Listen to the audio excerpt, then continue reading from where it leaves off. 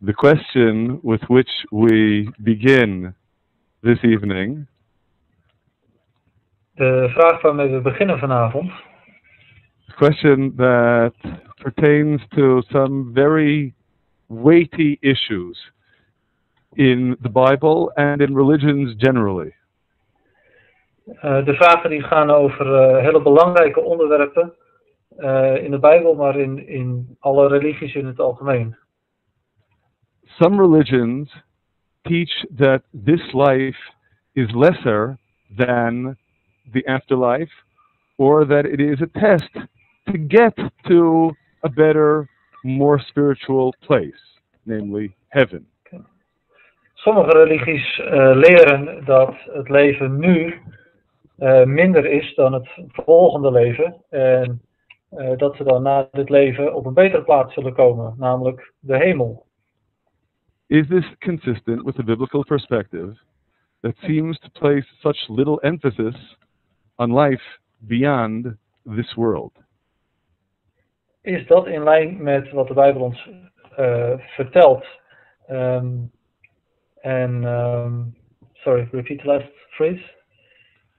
Uh, that is, again, is this consistent with the biblical perspective Ken? that seems to place such little emphasis on life beyond this world when we look at what the Bible has to say? Dus is dit in lijn met de Bijbel, die juist zo weinig nadruk lijkt te, eh, te plaatsen op het leven hierna?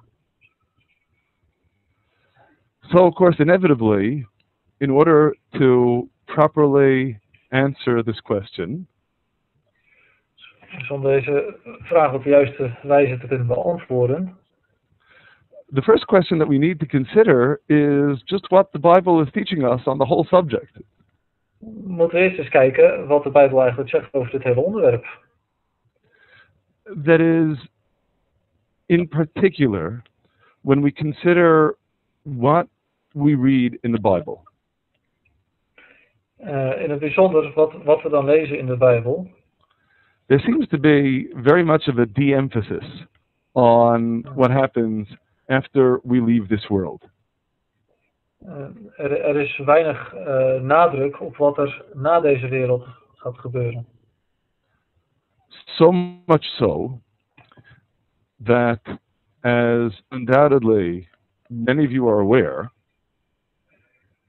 En die, die afwezigheid van die nadruk is zelfs eh, zo, zo duidelijk dat sommigen van jullie er misschien van bewust zijn dat among those who have unfortunately turned their backs on the Bible as God's revealed word, um, Chaim, could you make your phrases a little longer? It will make it easier for me to. I'm sorry, okay. Among those who've turned their backs on the Bible as God's revealed word, the Bible critics, there has been for quite some time the claim that the Bible originally never believed in everlasting life at all. Oké. Ehm, dus voor degenen die hun, hun eh, rug naar de Bijbel hebben toegekeerd, er zijn ook eh, Bijbelcritici die beweren dat de Bijbel in eerste instantie nooit heeft geleerd dat er iets is als een, een leven hierna, na dit leven. That is, the claim from their perspective is that this really came from some outside influences and isn't part of the original message of the Bible. Dus hun claim is dat dit vanuit andere bronnen komt, andere invloeden, en dat dit nooit onderdeel was van de originele boodschap in de Bijbel. So, the first thing that I think it is of critical importance for us to emphasize Dus het eerste wat voor ons heel belangrijk is om te benadrukken, is that that sort of claim can only be made by someone who's not reading the Bible. eh, is dat eh, zo'n claim alleen maar kan worden gemaakt door iemand die de Bijbel niet leest. Or at least who isn't reading the Bible carefully. Of in ieder geval iemand die de Bijbel niet eh, zorgvuldig leest. Uh, we don't need to go very far in order to glean the Bible's message on this subject. We hoeven niet heel ver te zoeken om uh, de, de boodschap van de Bijbel te kunnen vinden over dit onderwerp. In fact, let's start with Genesis chapter 5. Laten we beginnen met Genesis hoofdstuk 5. We read in verses 21 through 24 about Henoch. We lezen in de versen 21 tot 24 over Henoch. Uh, yes, in, in the translations generally rendered as Enoch or something like that. Yeah. What is important for us is what the Bible has to tell us about him, in particular in verses 22 and 24. De naam wordt soms wat anders vertaald in verschillende Bijbels, maar wat belangrijk is, is wat de Bijbel ons eh, te vertellen heeft over hem, met name in vers 2 en 23. In both of these verses, we read the exceptional expression, Vayithalech Chanoch et Ha'elokim. Chanoch walked with God. Dus in, eh, deze beide, in deze versen, eh, sorry, vers 2 en 24, in deze beide versen lezen we dat hij nog wandelde met God. Dat is een exceptionele eh, uitdrukking. In verse 24, it's not just that Chanoch walked with God, En in vers 24 is het niet alleen dat eh, hij nog wandelde met God, it's that he walked with God and was no more because God took him. maar er staat zelfs dat hij wandelde met God en hij was niet meer, want God nam hem weg. Now, I'm very simple minded about this, nothing at all deep. Nou, ik vat dit heel simpel op, niet, niet, niet heel diepzinnig. Could someone please explain to me where did God take him? Kan iemand mij misschien uitleggen, waar heeft God hem mee heen genomen? Certainly isn't around someplace else on earth. Het is zeker niet naar een andere plek ergens op de aarde. So, of course, we recognize God took him to a different level. Dus onderkennen we dat God hem meenam naar een, een ander niveau. What was exceptional about Hanoch was that he left the world suddenly at what at the time was an unusually young age. Wat zo uitzonderlijk is aan Henoch is dat hij eh, de wereld verliet, achter zich liet, op een voor die tijd hele jonge leeftijd. After all, what we read in verse 23 is he was only 365. Want in vers 23 lezen we dat Henoch eh, slechts 365 jaar is geworden. But clearly, we appreciate that God took him to another level. Dus, eh, ehm, be- benadrukken en waarderen dat, eh, dat God hem meenam naar een ander niveau. En al. To cite another very well known example from later on in the Bible, En eh, behalve een ander welbekend eh, voorbeeld in de Bijbel, consider Elijah the prophet.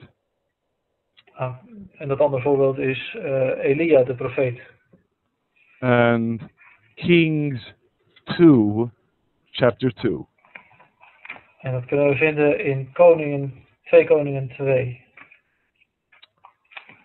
God brings Elijah the prophet to heaven in a whirlwind through horses and chariots of fire. God brengt Elia naar de hemel in een wervelwind met eh, ehm, strijdwagens in vuur. Now, whatever that means, clearly it doesn't mean that Elijah is just dead and gone. Uh, wat dat ook mag betekenen, betekent in ieder geval niet dat Elia uh, dood is.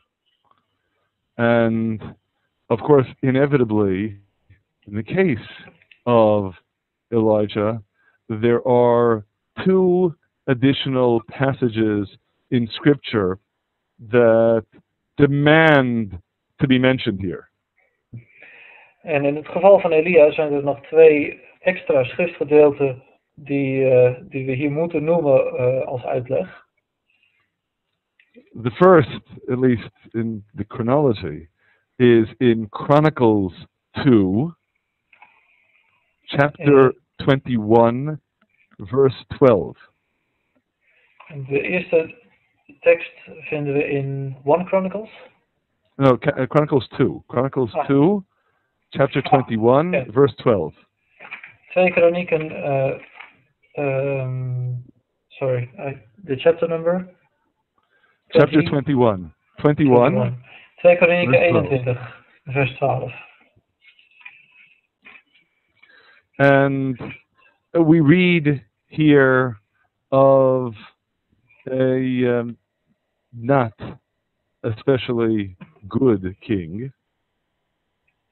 Uh, komt de boodschap bij hem van een niet bepaald goede koning. This is a description of a King Yehoram, who follows Yehoshaphat, the righteous king, his father. Um,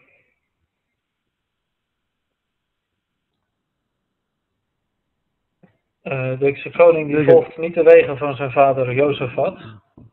But does not follow in his footsteps.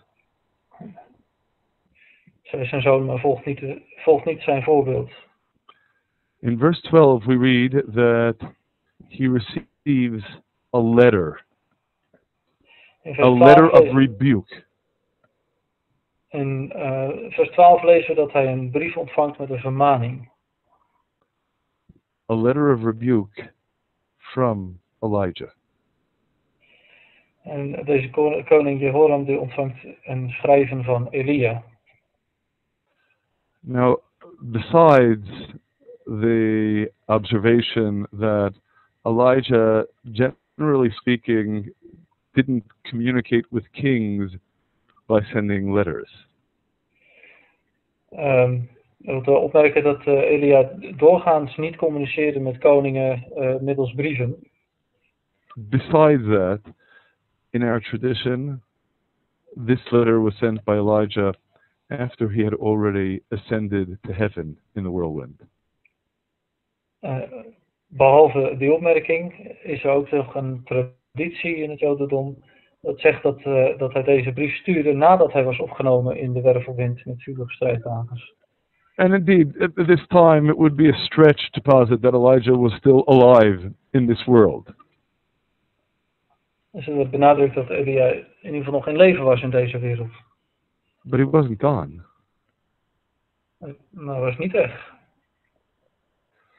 He may have been gone in the conventional sense. Hij was misschien weg in, in de, de alledaagse opvatting daarvan.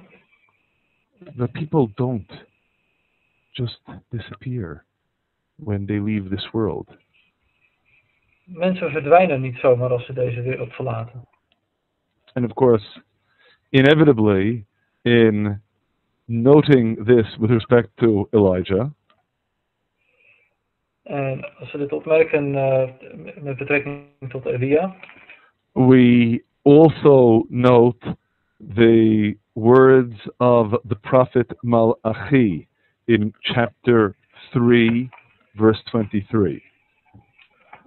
Dan bekijken we ook um, de boodschap van de profeet Malachi in hoofdstuk 3, vers 23. Behold, I am sending to you Elijah the prophet before the coming of the day of God, great and awesome. Ah. Ehm, bij mijzelf staat dit overigens als Malachi 4, hoofdstuk 5. It's in another chapter and verse in Ah, van some Bibles. So, Zie, ik zend tot u de profeet Elia voordat de dag van de Heer komt, de grote en ontzagwek- ontzagwekkende dag. Again, Elijah is not gone. Dus nogmaals, Elia is niet weg. Even if we don't see him here and now. Ook al zien wij hem hier en nu niet. It is clearly the assumption of the Bible that people, when they end their lives in this world, do not simply cease to exist. De Bijbel communiceert in ieder geval duidelijk dat eh, op het moment dat mensen deze aarde verlaten, ze niet zomaar ophouden te bestaan. And indeed, we should note in this regard that in the book Ecclesiastes, Dus met betrekking tot dit moeten we een opmerking maken uit het boek Prediker. this reality is veritably presumed. Deze realiteit wordt al verondersteld daar. That is, first, we note in Ecclesiastes chapter 3, verse 21, Dus in Prediker eh, hoofdstuk 3 vers 21 gaan we iets vinden. the comparison between human beings and beasts. En dat is een vergelijking tussen mensen en, eh, en dieren. As the verse reads, with respect to the beast, the beast, after all, is only physical. Want eh, de dieren zijn alleen maar fysiek. And therefore, the spirit of the beast is really not spiritual at all. It just descends to the earth. En daarom is de, de geest van een dier helemaal niet zo geestelijk. En die zakt gewoon naar de aarde. aarde. Die daalt af naar de aarde. We probably should better render spirit here as just a life force. It's a living thing, but it's a physical living thing. Misschien moeten we eh, levensgeest hier maar gewoon vertalen als een soort levenskracht. Maar het, is, het duidt meer op een fysieke gesteldheid van het dier. But the spirit of man doesn't go down, it goes up. In tegenstelling tot de geest van de dieren gaat de geest van de mens omhoog. Die gaat niet naar beneden. Indeed, as so poignantly expressed in the last chapter of Ecclesiastes. In En chapter 12, verse 7. In Prediker, het laatste hoofdstuk van Prediker, hoofdstuk 12, vers 7, staat ook een mooie uitdrukking. Het stof kent. The dust returns upon the earth as it was. Het, het stof keert terug naar de aarde zoals het was. And the spirit returns to God who gave it. En de geest keert terug tot God die hem gegeven heeft. So the spirit of man doesn't go down to the earth. Dus de geest van de mens gaat, gaat niet eh, naar beneden, naar de aarde. It goes up to God. Het gaat omhoog, naar God toe. Now, of course, I'm sure I certainly don't need to emphasize to you that we don't mean down and up as physical directions. Ik weet vrij zeker dat ik niet aan jullie hoef uit te leggen dat met omhoog en naar beneden we hier niet per se fysieke directies, eh, fysieke richtingen bedoelen.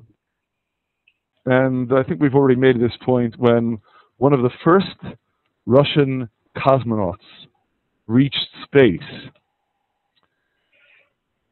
And he announced, I've been to heaven and I didn't find God there.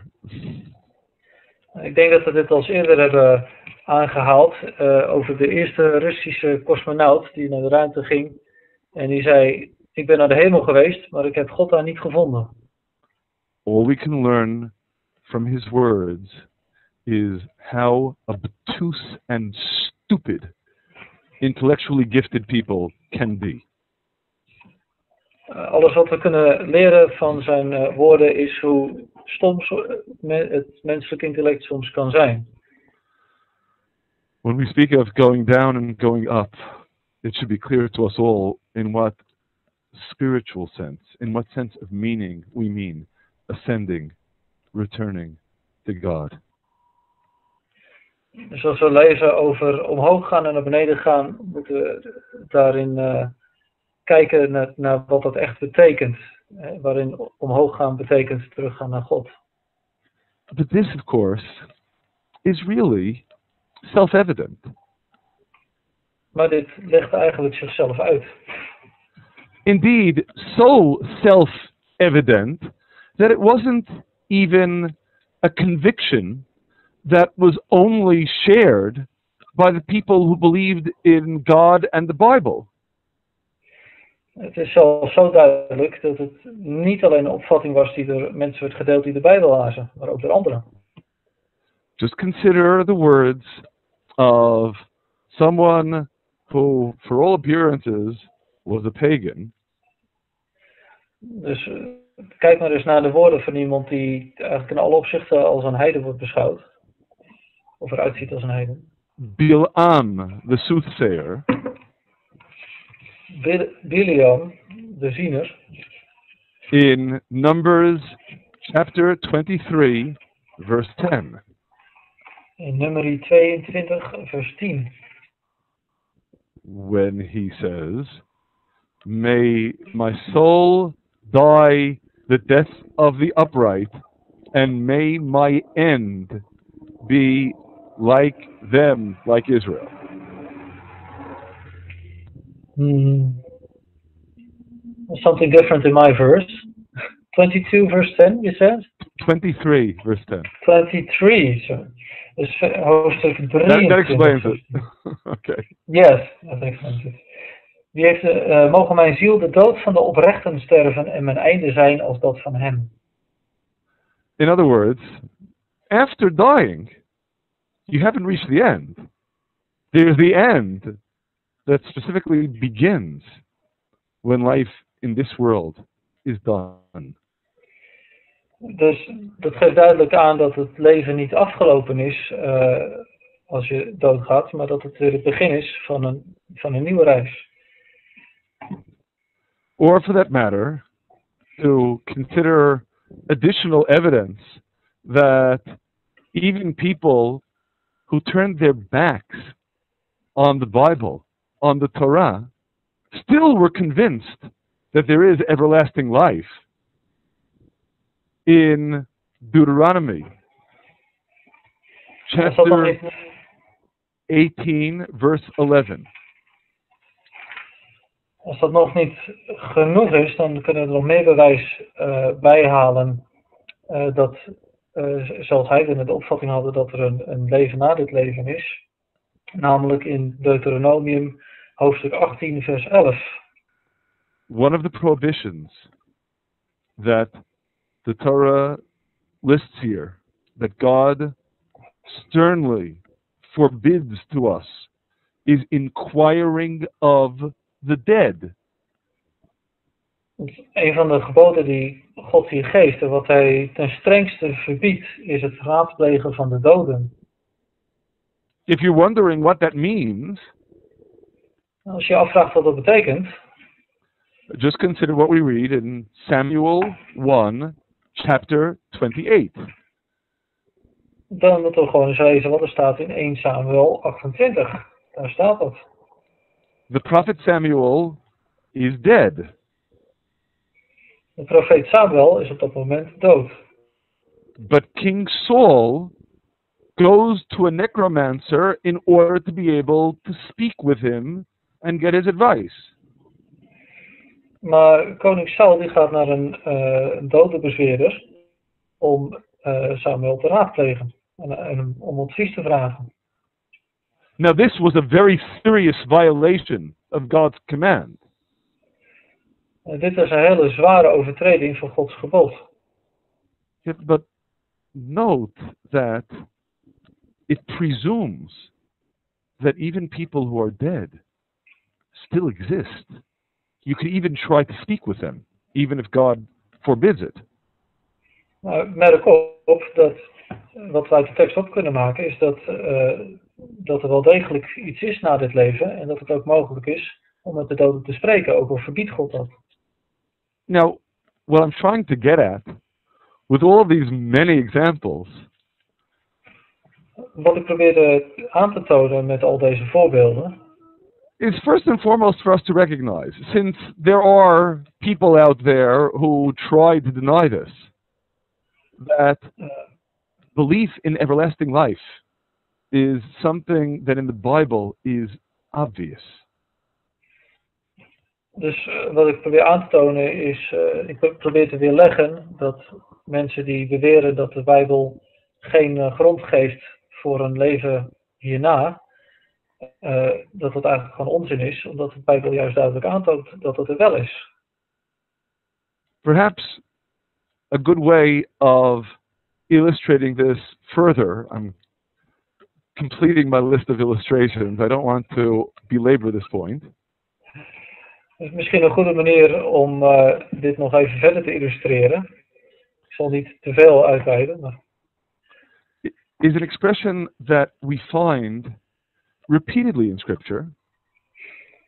Um, dat is een uitdrukking die we uh, meerdere malen tegenkomen in de schriften.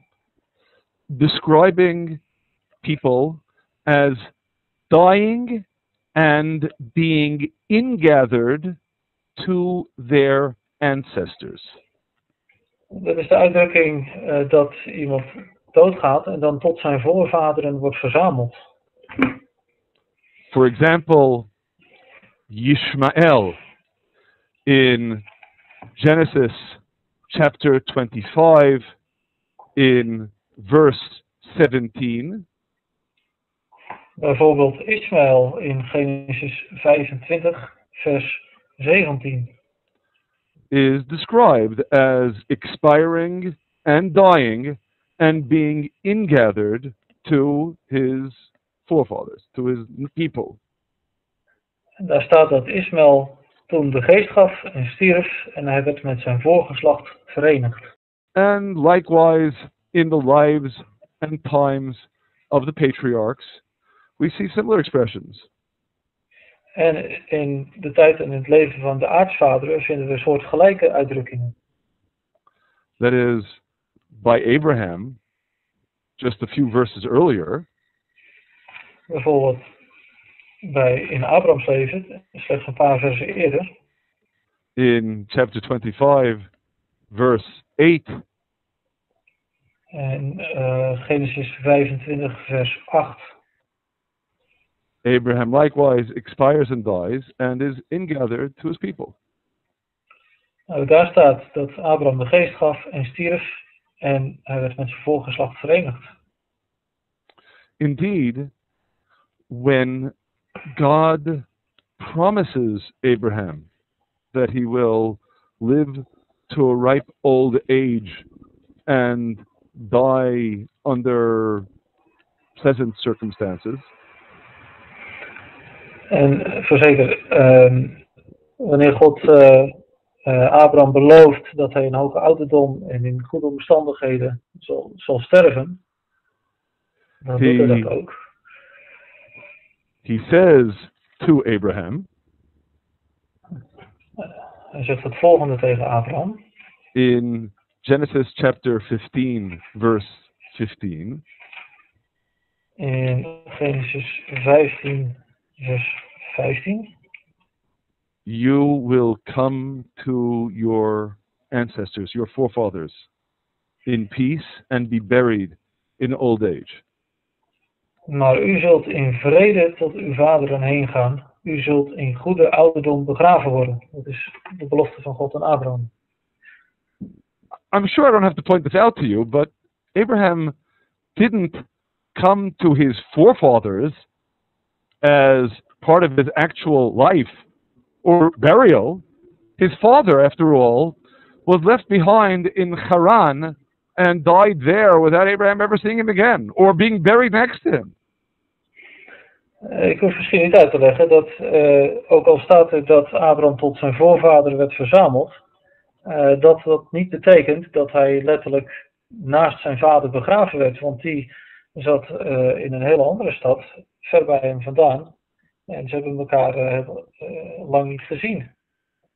But then we recognize then that after one dies, one is ingathered to one's people, to one's ancestors. Maar dan realiseren we ons dat als iemand doodgaat eh, en hij wordt verzameld tot zijn voorouders, And conversely, that is precisely the punishment with which God warns us repeatedly. The punishment in Hebrew known as karet, being cut off. En As- precies op dat punt van eh, verzameld worden tot je voorouders, dat is ook een, eh, gekoppeld aan een straf die God ons voorhoudt. Eh, namelijk dat je afgesneden kunt worden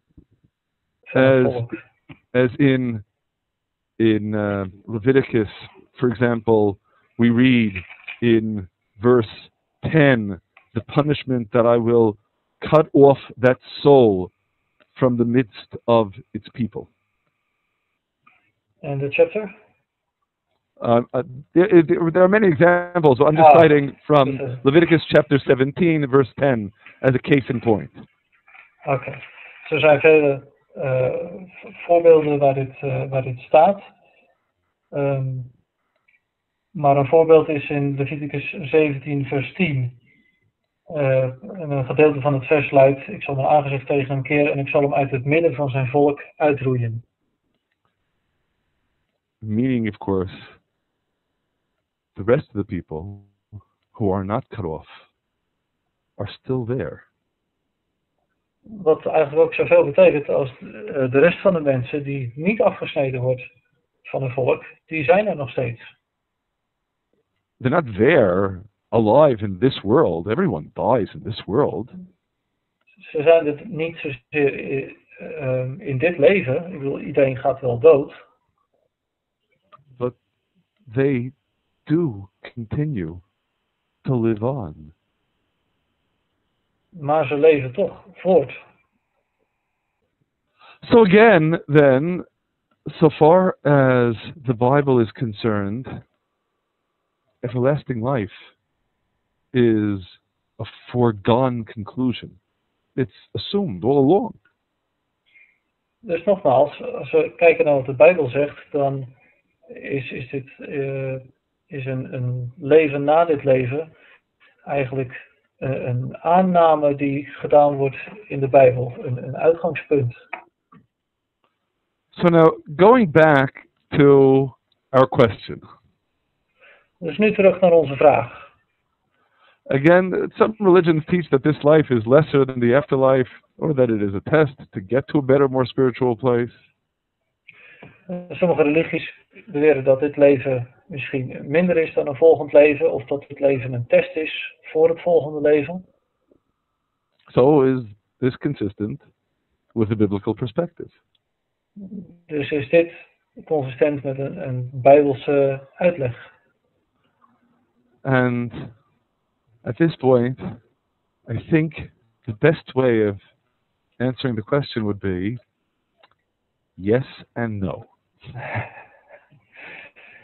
Dus eh, op dit punt lijkt eh, het beste antwoord nog te zijn ja en nee.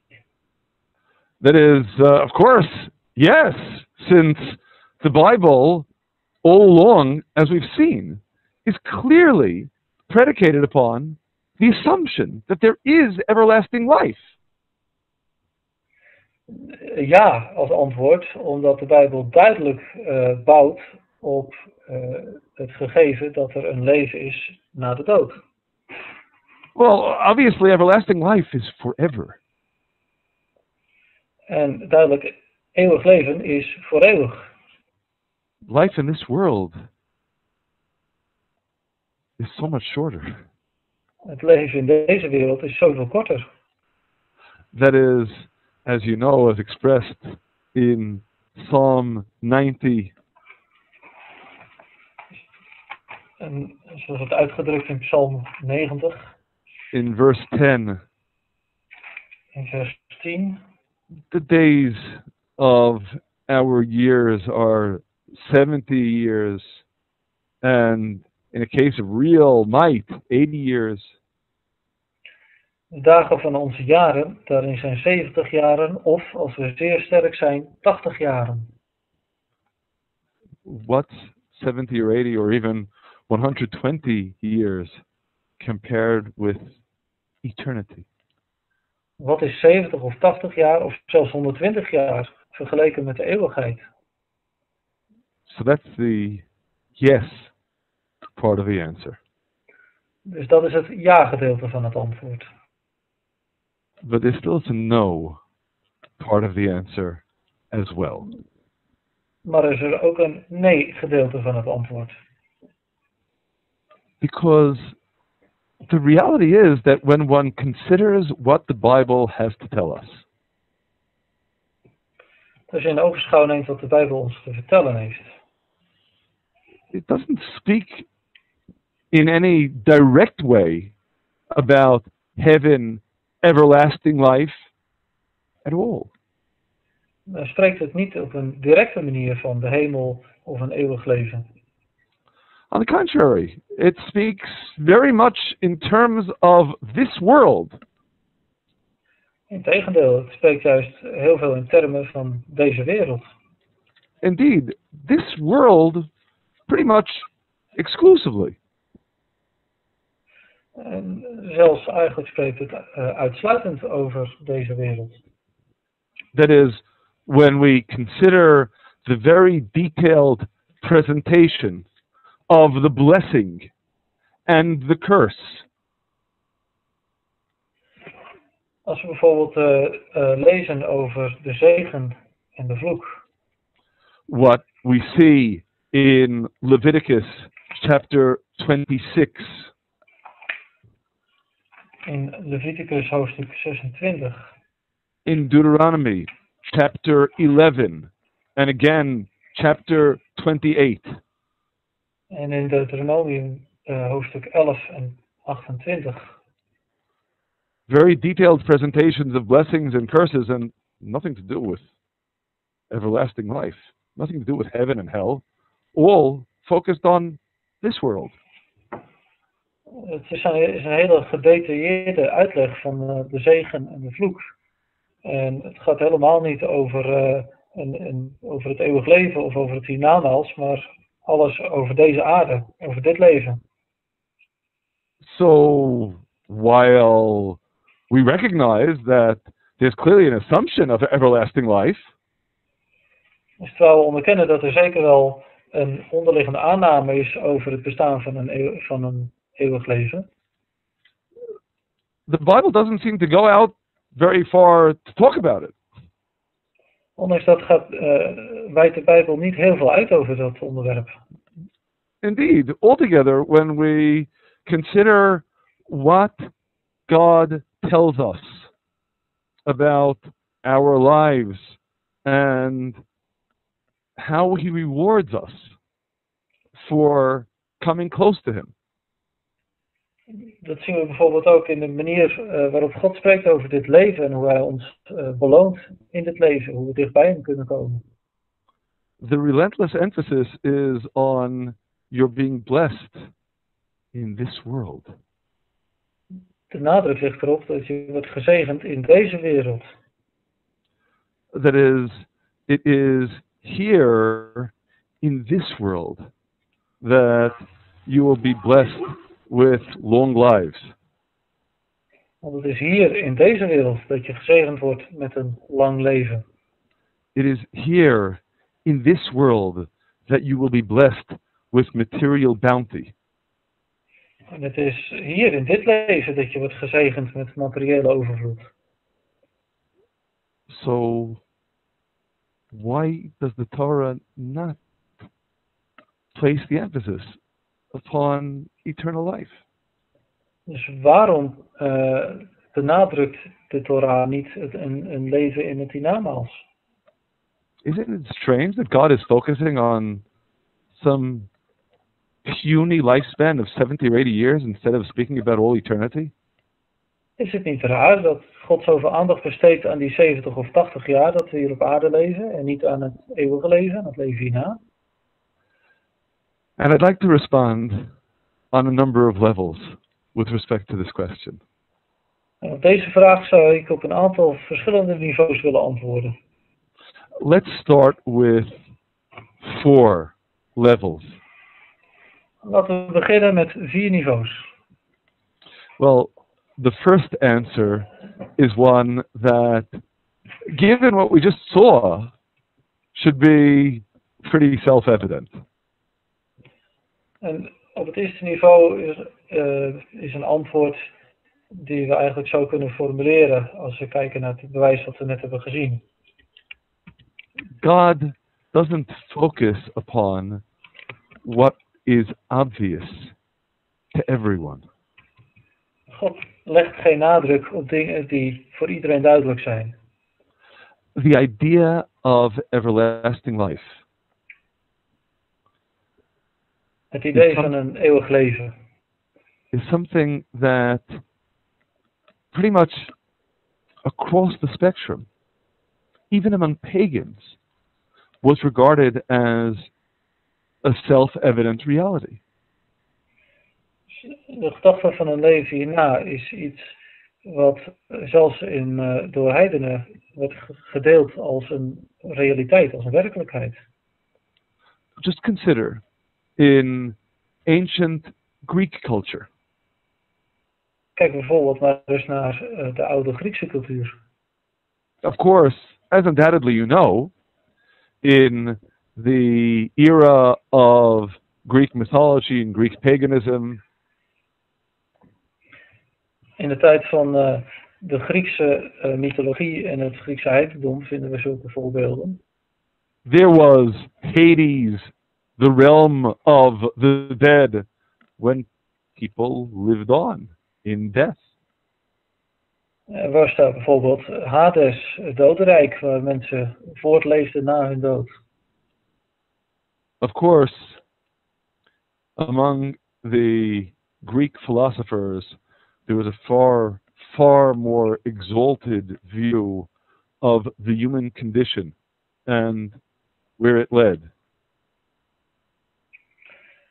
Eh, dus onder de Griekse filosofen was een, eh, een veel positievere opvatting van het leven in het hiernamaals over de omstandigheden daar en waar dat eh, heen ging. But the philosophers believed that since the intellect of a human being is something that goes beyond the material, ze geloofden dat het eh, intellect ook iets is wat eh, ehm, ja, al het andere voorbijstreeft in het, in het menselijk wezen. when you actualize your intellect, you go beyond the material. Dus als je je, je intellect activeert, dan ga jij voorbij het materiële niveau. That is, let's make this point even clearer because I think it's an important point for us to appreciate. Laten we dit punt nog wat verder verduidelijken, want ik denk dat het een heel belangrijk punt is eh, waar we nu zijn aanbeland. Why do people die? Waarom gaan mensen dood? To give a physical answer to the question. Om een ehm, natuurlijke, een fysieke manier, een fysieke antwoord te geven op deze vraag. For those students of physics among you Voor de mensen die eh, natuurkunde eh, studeren onder jullie, will say the answer lies in the second law of thermodynamics. eh, het antwoord op deze vraag ligt in de tweede wet van de thermodynamica. Disorder tends to increase. Ehm, Anything that's ordered becomes disorganized. Ah, dus, dus, eh, alles ehm, wat eh, een, een bepaalde orde heeft, eh eh, mondt uit in chaos. So, for example, your car gets old and run down. Dus bijvoorbeeld je auto, die wordt oud en die gaat op een gegeven moment een keer kapot. Die raakt versleten. Your clothes get old and worn out. En ook je kleren worden oud en raken versleten. And your body gets old and decays. En ook je lichaam wordt oud en vervalt. All things decay and disintegrate. Alle eh, zaken hier op aarde ver- vervallen uiteindelijk, vallen uit elkaar. But not all things. All physical things. Maar niet alle dingen, alle fysieke dingen. The laws of thermodynamics are laws of physics. Eh, de wetten van de natuurkunde zijn wetten eh, op het natuurlijke. Het They apply to physical things. Ze zijn van toepassing op fysieke dingen. And if we then ask, what are the physical things to which they apply? En als we ons dan afvragen eh, wat dan die natuurlijke dingen zijn, die fysieke dingen waarop ze van toepassing zijn, dan komen we bij het volgende. That doesn't only apply to inanimate objects. Dat gaat niet alleen over eh, dode voorwerpen, levenloze voorwerpen. Well, animals are also physical beings. Eh, Dieren zijn ook fysieke wezens, fysieke dingen. And that is why, as we saw in Ecclesiastes chapter 3, when an animal dies, its spirit, its life force, descends into the earth. Daarom lazen we in Prediker hoofdstuk 3 dat de levenskracht van een dier na zijn dood eh, naar de aarde zakt, terugkeert naar de aarde. But to the extent that you make yourself into a spiritual being, Maar er is ook een aspect eh, waarin je jezelf in, in, eh, tot een geestelijk wezen maakt. you become a spiritual being. You're not physical anymore. You don't die. Als- je een geestelijk wezen wordt, dan val je dus niet meer onder het fysieke en dan, dan ga je niet dood. Now, of course, I don't mean that we're all going to reach the level of Hanoch and Elijah not dying at all. Bedoel ik niet dat we allemaal het niveau zullen bereiken van Henoch en Elia, dat je helemaal niet doodgaat. This is physical. This dies. Want dit lichaam waarin we leven, dat is, dat is fysiek, dat gaat dood. But the soul, Maar that ziel, spirit within us, die geest die in ons is, Again, remember Ecclesiastes chapter 12. The dust returns to the earth as it was. This is dust. herinner je dat in Prediker 12 staat dat het stof terugkeert naar de aarde. Het lichaam is stof. But of course, the spirit returns to God who gave it. Maar natuurlijk gaat de geest terug naar God. How could it be otherwise? The spirit isn't something physical. Hoe kan het ook anders? Want die geest is niet iets fysieks. So again, then, in asking, why doesn't the Bible focus upon everlasting life? Dus uh, nogmaals, waarom uh, legt de Bijbel zo weinig nadruk op uh, eeuwig leven? Because everlasting life to someone who has dedicated him or herself to the Spirit is obvious. Iemand die zijn, zijn leven heeft toegewijd aan uh, een geestelijk leven, daarvoor is een, een eeuwig leven, een leven hierna, overduidelijk. Anyone who is sensitive to life, anyone who thinks, recognizes that everlasting life of the soul is a foregone conclusion. Iedereen die goed oplet in dit leven, opmerkzaam is en goed nadenkt, die ziet dat een leven na dit leven uh, ja, een, een, een simpele conclusie is. Dat het niet anders kan zijn dan dat. You know why the Bible focuses upon reward and punishment in this world, according to this answer? Dus weet je waarom de Bijbel zoveel nadruk legt op uh, straf en op beloning in dit leven, volgens dit antwoord? Because that's something novel. That's something we would not have expected. Omdat dat juist iets nieuws is. Dat zouden we misschien niet verwacht hebben. Spirituality in the realm of the spirit out there is obvious.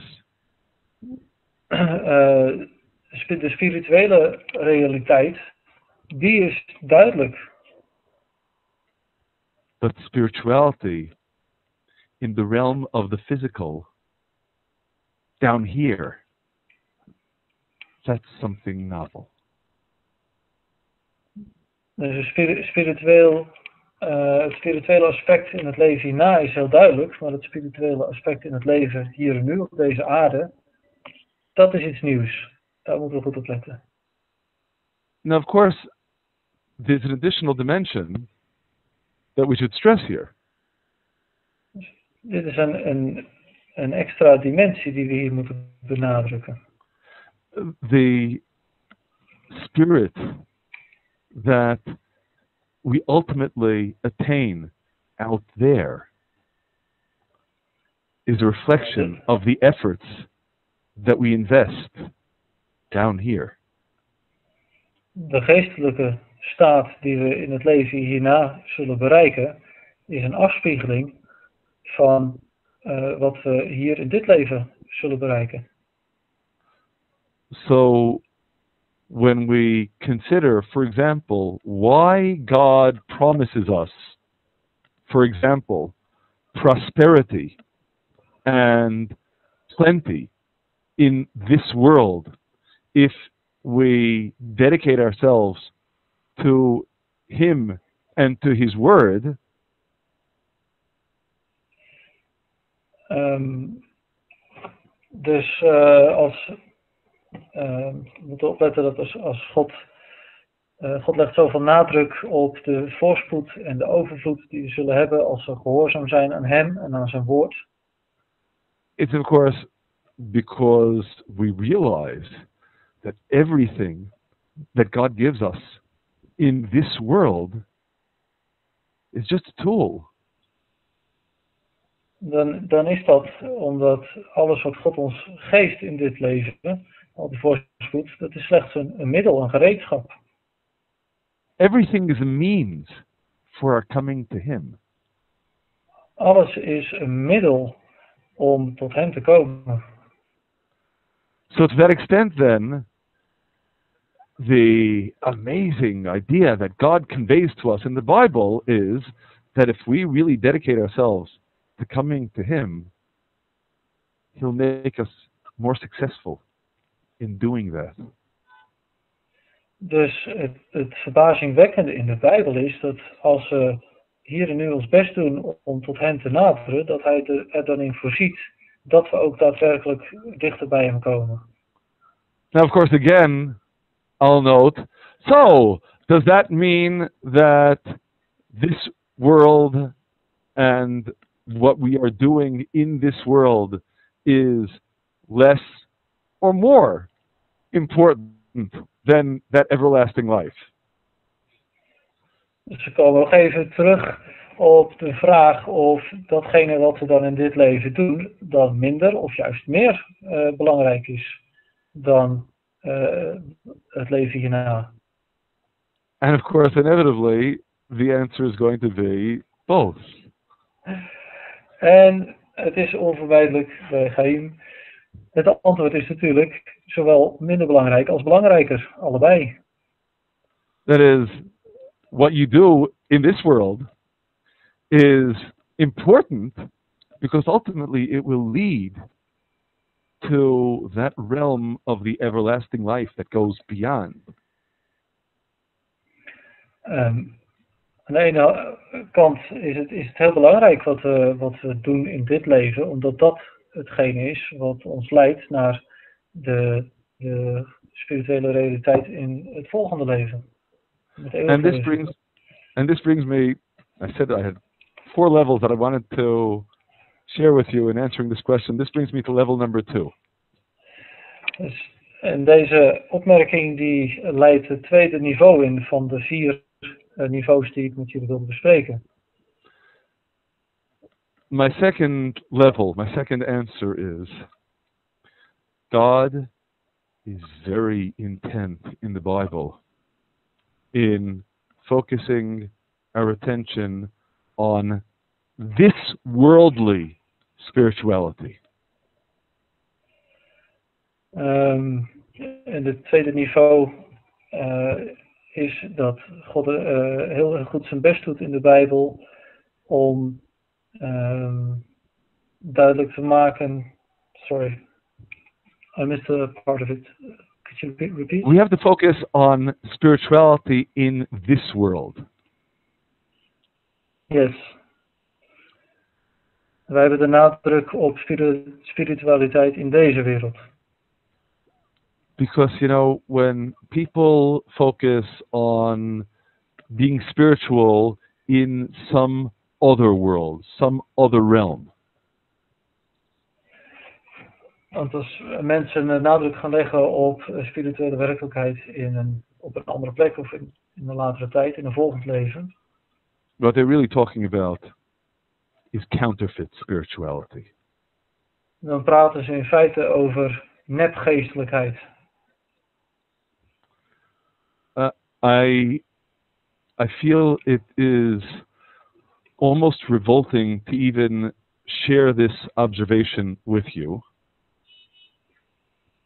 Ik denk dat het misschien zelfs um, rebels is om deze mening met jullie te delen.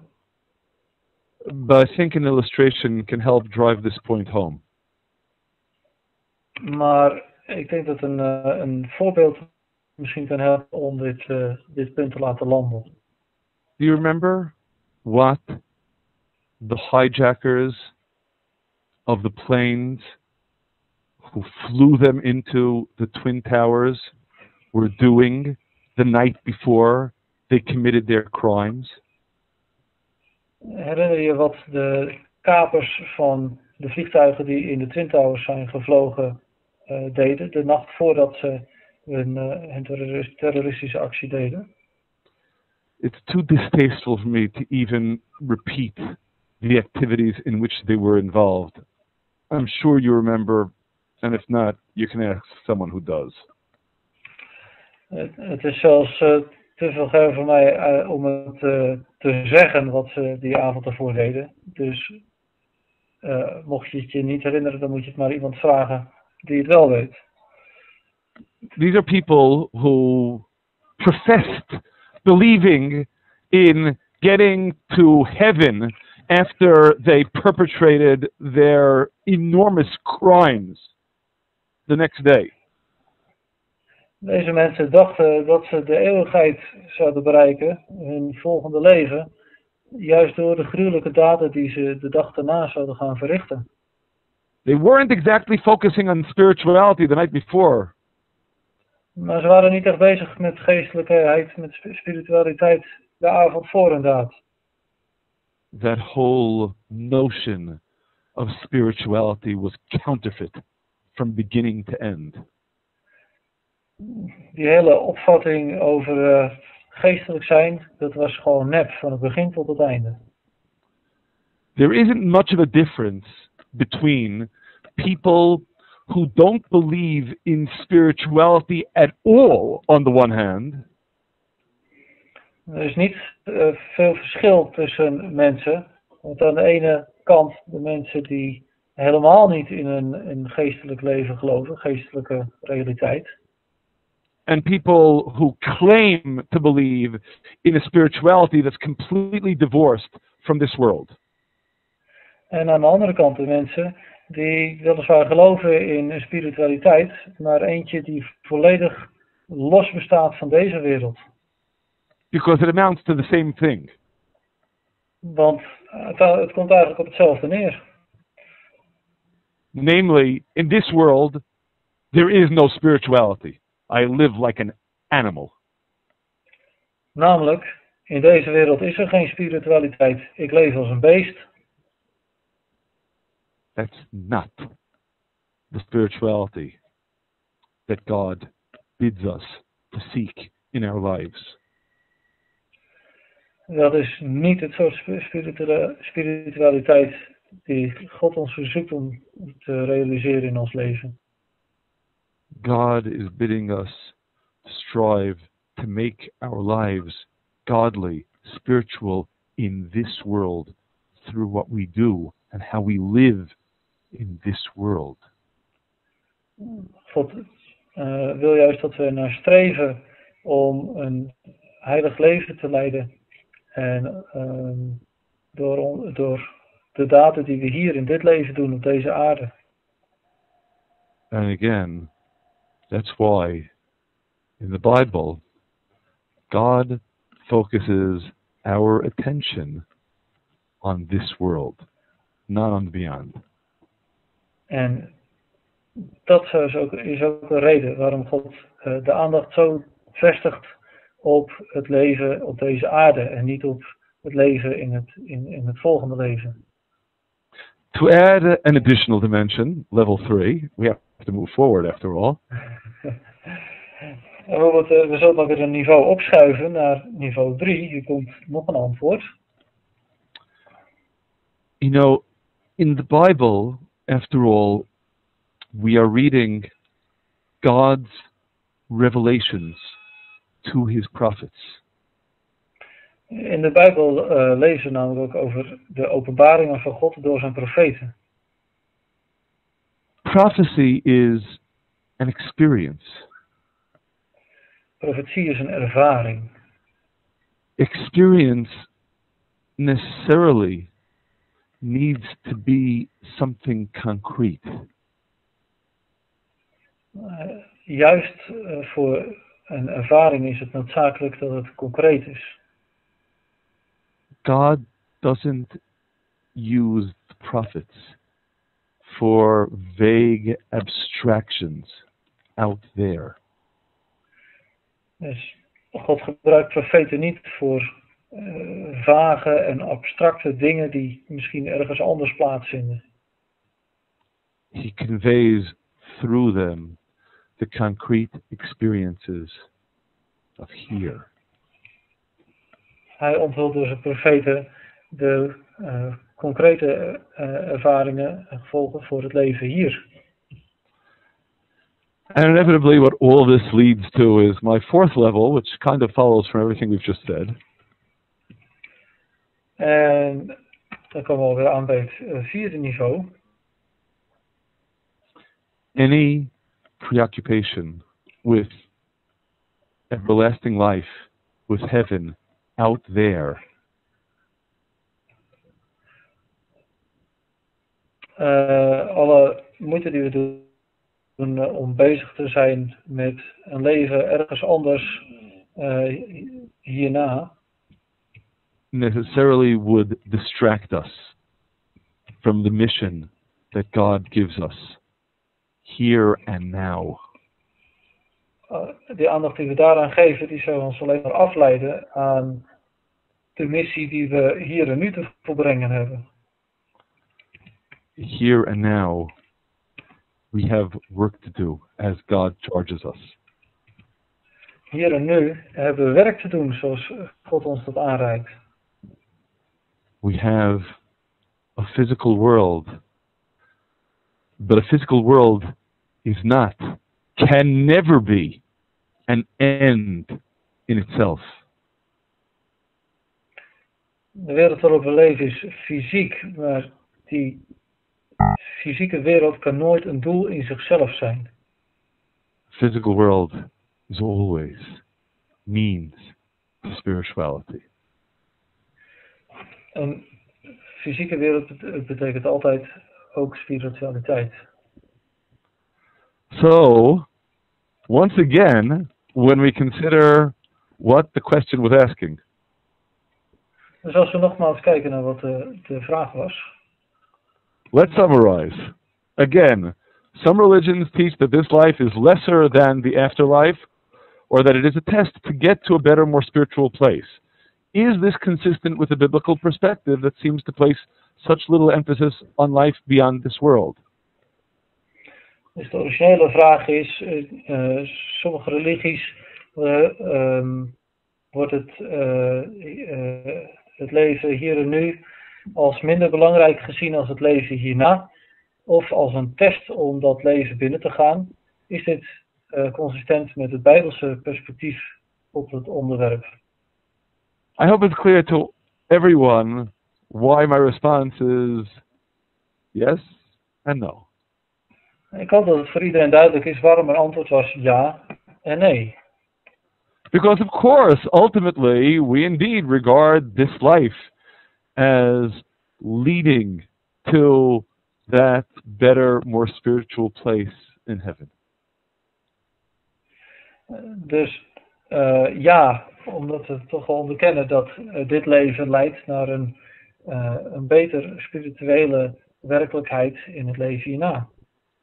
We even have an ancient saying in our tradition that this world is like a corridor leading to the great banquet hall in the hereafter.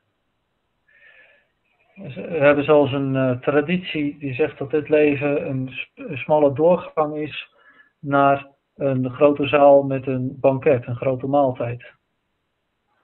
But simultaneously, let's not allow ourselves to get distracted by that banquet hall. Maar laten we er wel voor zorgen dat we niet afgeleid worden door dat heerlijke banket dat op ons staat te wachten. Because as long as you are in the corridor, you need to know you're in the corridor. Want zolang als dat je in de doorgang zit, in de gang zit, moet je je realiseren dat je in die doorgang zit. You know what you do when you're in a corridor? Weet je wat je doet als je in die doorgang zit? You don't sit down. Dan ga je niet zitten. You keep moving forward. Je, je zit niet stil, je, je blijft doorgaan. Je gaat probeert vooruit te gaan. And what the Bible stresses to us relentlessly is so long as you're in this world, you need to keep moving forward. En wat de Bijbel eh, met grote nadruk benadrukt, is dat we, zolang we hier in dit aardsleven zitten, moeten proberen vooruit te gaan. And this brings me to the second question that I'd like to address today as well. En dit brengt me bij de tweede vraag die ik vandaag zou willen behandelen. In Jewish sources, the domain of everlasting life is often called Olam Haba. In jullie bronnen wordt het eh, leven hierna vaak Olam Haba, de wereld die komt, genoemd, of de volgende wereld. Oh, okay. So Johan, of course, who formulated this question, knows very well what the words Olam Haba mean, which is why he already translated it. Dus Johan, eh, die deze vraag stelde, die wist al een beetje wat Olam Haba betekende, vandaar dat hij het alvast vertaalde. That is, again, Olam Haba is usually translated as the world to come or as eternal life. Dus ehm, eh, de woorden Olam Haba worden doorgaans vertaald met het leven dat komt, dat hierna komt, of het eeuwig leven in onze Bijbels. And the question, what is the biblical basis for this and what does it mean for us here in this world today? En de vraag is, wat betekent dit eh, eh, eh, bijbels gezien en wat betekent het voor ons hier en nu vandaag? So, to respond based upon what we have already discussed today. Dus om voor te borduren op wat we reeds besproken hebben vandaag. First of all, I must concede that the expression Olam Haba appears nowhere in the Bible, is exclusively an expression that we find in the later sources of the oral tradition, that is, the Mishnah, the Talmud, and so on. It's not a biblical expression at all. Dus het eerste wat ik moet opmerken is dat deze uitdrukking Olam Haba uh, nergens in de Bijbel voorkomt. Het is een uitdrukking die alleen in uh, latere bronnen terug te vinden is, uh, bijvoorbeeld de Mishnah en de Talmud. But in order to appreciate what it means, I need to share with you an interesting linguistic insight. Maar uh, om jullie inzicht te geven in wat, er, wat dit nou werkelijk betekent, uh, moet ik een, uh, een taalkundig inzicht geven. The truth of the matter is that the Hebrew olam haba can be translated correctly in more than one way, and the world to come is only one possibility. Dus de term Olam Haba kan inderdaad correct vertaald worden naar de wereld die, die komen zal, de wereld die komt. Maar dat is niet de enige manier om het naar, vanuit het Hebreeuws te vertalen. Er zijn andere manieren die ook correct zijn. As you know, while Hebrew is the principal language of the Bible, which is why we call it the Holy Tongue. Zoals jullie weten uh, zijn grote gedeelten van de Bijbel geschreven in het Hebreeuws. En dat is ook wel waarom we dat de heilige taal noemen. It's not the only language of the Bible. Het is niet de enige taal die in de Bijbel terug te vinden is. It's not even the only language of what we'll describe as the Hebrew Bible. Het is zelfs niet de enige taal die we terugvinden in wat ik dan maar de Hebreeuwse Bijbel zal noemen. Part of the Bible is written in Aramaic. Een gedeelte van de Bijbel is geschreven in het Aramees. And I think it's instructive for us to consider how, again, as a post-biblical term, Olam Haba is expressed in the Aramaic language. En ik denk dat het goed is om, uh, leerzaam is om te zeggen dat uh, de uitdrukking Olam Haba eigenlijk alleen in het Aramees terug te vinden is, ook in de latere bronnen. The translation in Aramaic is Alema De'ate. De vertaling in het Aramees is Alama Da'ate. Which translates most precisely to wat zich laat vertalen naar the world that is coming. De wereld die aan het komen is. Now, you may be wondering, what's the difference between saying the world to come and the world that is coming? Je zou kunnen vragen, wat is nou eigenlijk het verschil tussen de wereld die komt en de wereld die aan het komen is? When you say the world to come, that carries the connotation that this world is just ended and the world to come comes instead. De eerste uitdrukking uh, lijkt erop te duiden dat de, dus de wereld die komt, dat er een einde komt aan, de, uh, aan dit leven, aan deze wereld. En dat er dan een nieuwe komt. When you say the world that is coming, Maar als je zegt de wereld die aan het komen is, it carries the message that the world that is coming is really this world perfected. dan draagt dat de boodschap in zich mee dat de wereld die aan het komen is, eigenlijk deze wereld is, maar dan in een perfecte staat. The world that is coming doesn't come by trashing this world and replacing it.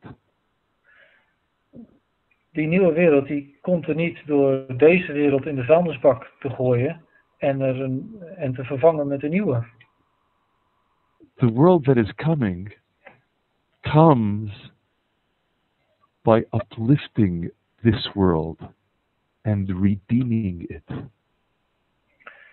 Die, de wereld die aan het komen is, die komt er door deze wereld ja, op te heffen en te verlossen. Now, of course, don't get me wrong. This is not something that you or I have the capacity to do on our own. Eh, Laat duidelijk zijn, dit is niet iets wat jij of ik op onszelf kunnen doen. This is God's doing. Dit is wat God moet doen. Kan doen. And furthermore, I should stress here since the question was, what is the basis for this in the Bible? Verder wil ik benadrukken dat in de vraag stond, wat is de basis hiervoor in de Bijbel? Directly? Directly in the Bible? You won't find the world that is coming at all. Dan vinden we de uitdrukking, de wereld die aan het komen is, helemaal nergens. Niet, niet direct. We have an ancient saying, looking at the words of the prophets, says, All of the prophets prophesied about the era of the Messiah, not the world that is coming. Ehm, de profeten die profeteerden, die profeteerden allemaal over de tijd eh, waarin de Messias zou komen. Niet over de wereld die aan het komen is. That is, the prophets prophesied about the era of the Messiah because that era is really a direct continuation of this world once there is universal peace and brotherhood, once all the world has turned to God, that's still not Olam Haba. Eh, alle eh, profeten die profeteerden dus over het tijdperk van de Messias. En dat zal aanbreken als er, eenmaal, eh, als er dan eenmaal vrede is en iedereen eh, leeft als eh, broeders naast elkaar. Dan nog is, het, is de wereld die aan het komen is niet gekomen. Die, die is dan nog niet aangebroken. the world that is coming is the complete redemption of everything in this world. It is a realm of perfection.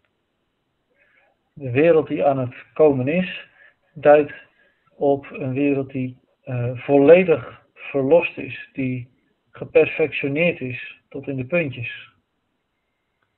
Prophets, even, didn't behold that world because it's completely beyond this world. Zelfs de profeten hebben deze wereld niet kunnen aanschouwen, omdat het eh, zo anders is als deze wereld.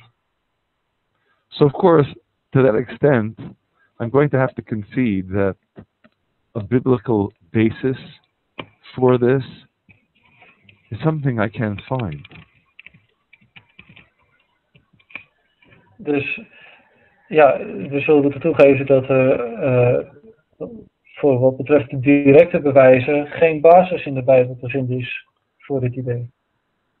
That's the everlasting life that really goes beyond what the Word of God teaches us directly.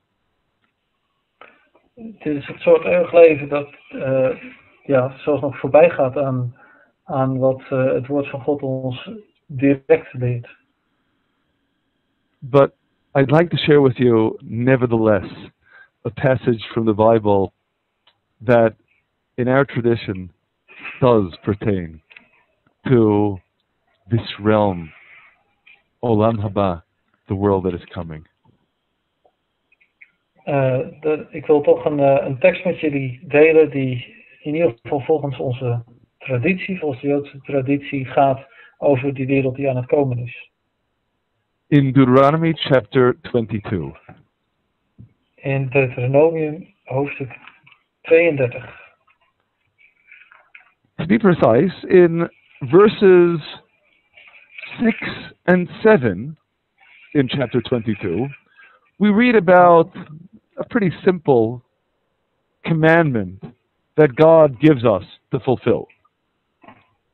Um, chapter 22? Chapter 22, verses Yeah. 6 and 7. Yes. Okay. Uh, The commandment to send away Uh, to send away the mother bird before taking Ja. the eggs or young from the nest. Klein foutje, uh, hoofdstuk 22 van Deuteronomium, vers 6 en 7. Okay, that is again the, the, the precept to send away the mother bird so she won't see when the eggs or the chicks are taken from the nest. Uh, en daarin staat dat je, uh, als je de jongen van een vogel wegneemt, niet ook de moeder uh, mee mag nemen, dat ze, dat ze dat ook niet zal zien. But the Torah here does not only give us this precept, it also gives us a promise. Uh, in deze verse geeft de Torah ons niet alleen een gebod, maar ook een belofte. The promise is that when you do this, Leman yitavlach, it will be good for you, v'ha'arachta yamim, and you will live long. En de belofte staat aan het eind van de verse. Even gemak zal ik ze toch even lezen. Wanneer u onderweg een vogelnest tegenkomt, in welke boom dan ook, of op de grond, met jongen of eieren, en de moeder zit op de jongen of op de eieren, dan mag u met de jongen niet ook de moeder meenemen. U moet de moeder zeker vrijlaten, maar de jongen mag u voor uzelf meenemen. En de belofte is, opdat het u goed zal gaan en u uw dagen zult verlengen. I'll add to this promise the promise that we also see somewhat earlier in Deuteronomy chapter 5, verse 15.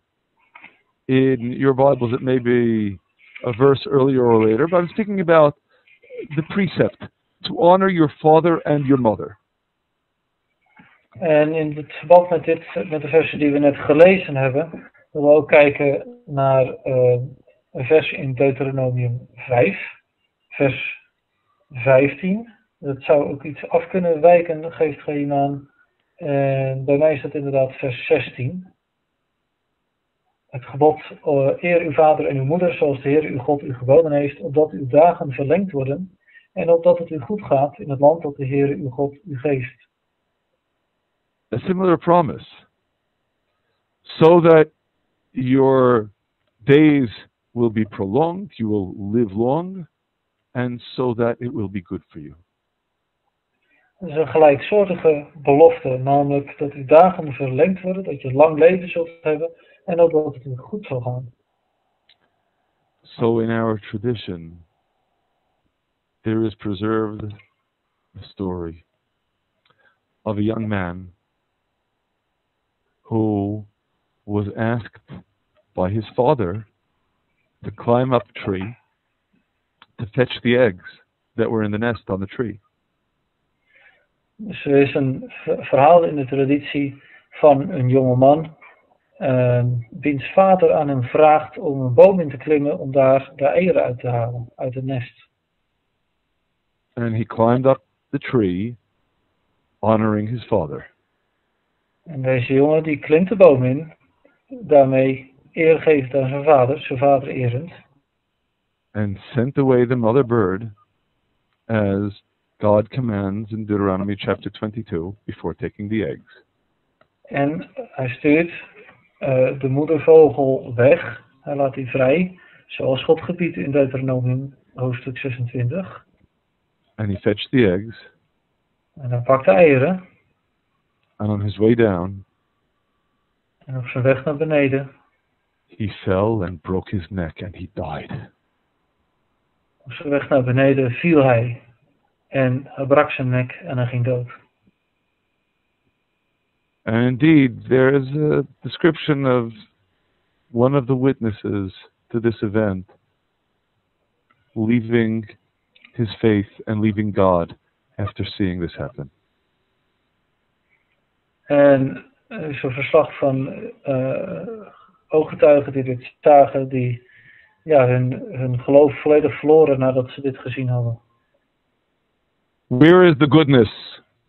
Where is the long life? Waar is, de, waar is die goedheid? Waar is dat lange leven? This Bible, it's all a fraud. Die Bijbel, dat is, dat is nep, dat is bedrog. And the rabbis responded, En de rabbies antwoordden hem, the promise wasn't intended for here and now. die belofte is niet bedoeld voor hier en nu. But when you think about it, how could such a promise be for here or now? Als je erover nadenkt, hoe, hoe kan zo'n belofte ook zijn voor het hier en nu? However good one has it in this world, this world always comes to an end. Hoe goed je het ook hebt in deze wereld, dit komt altijd aan, het, aan een eind. However long one's life in this world,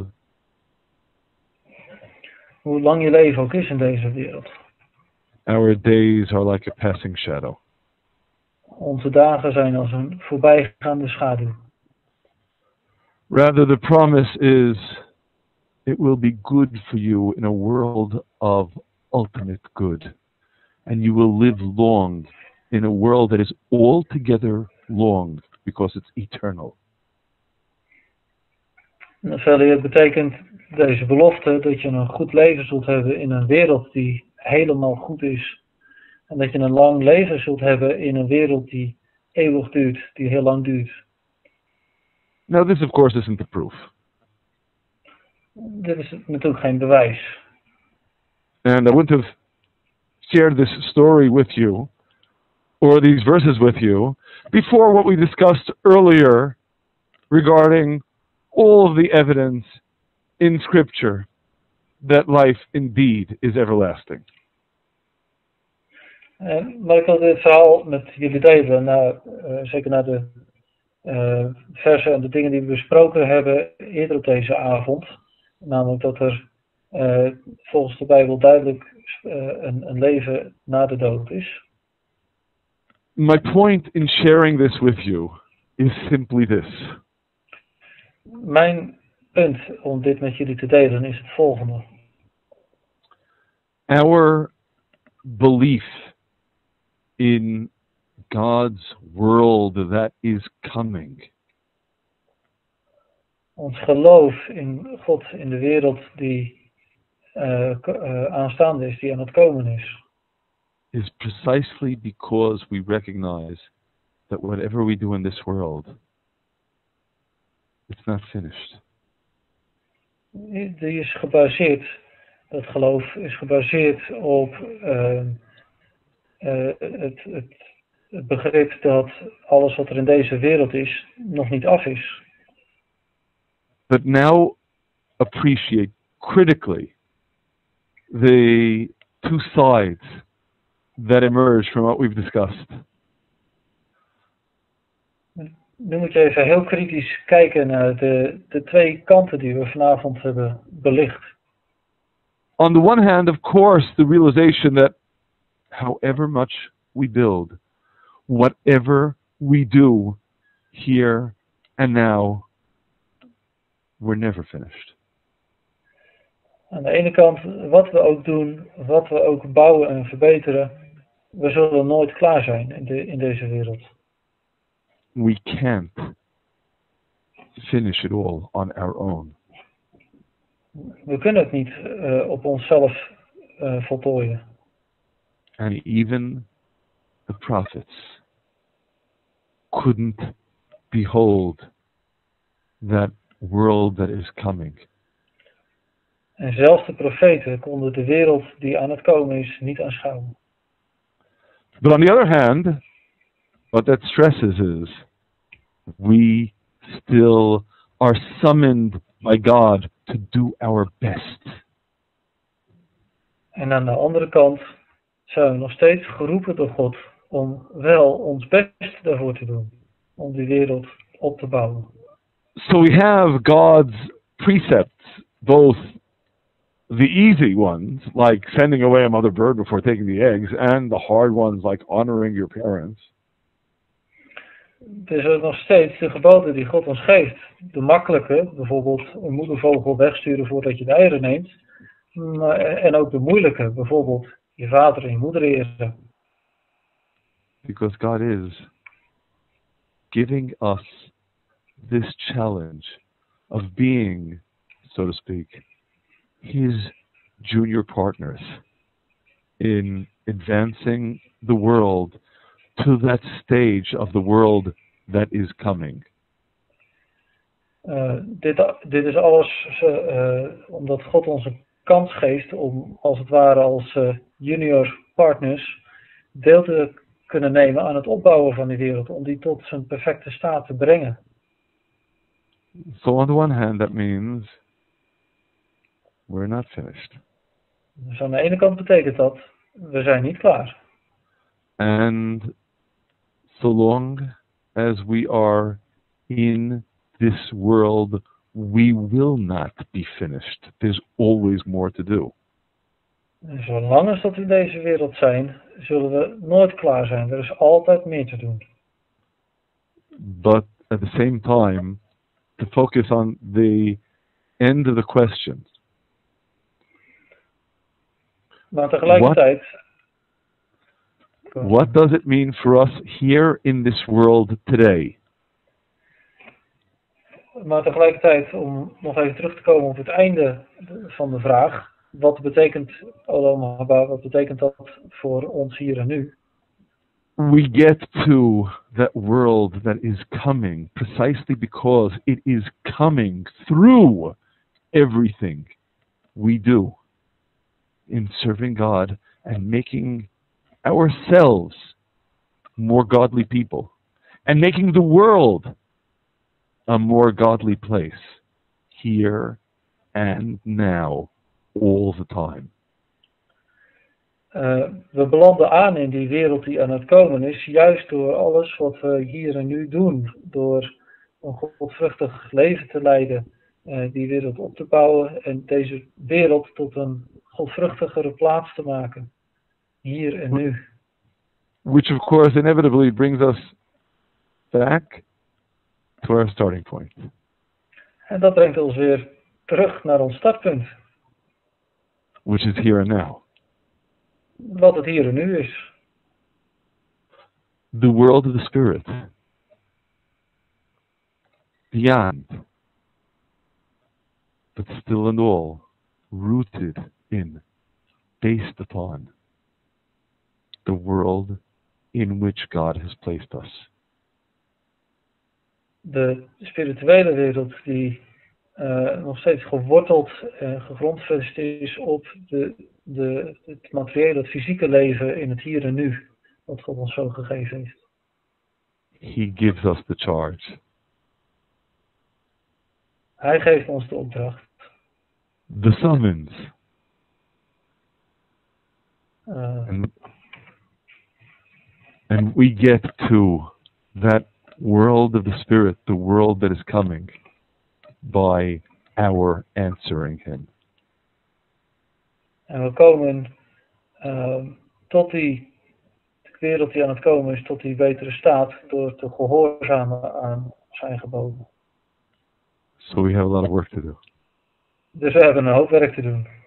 Thank God. Dank aan God. God, God bless you. God zegene jullie.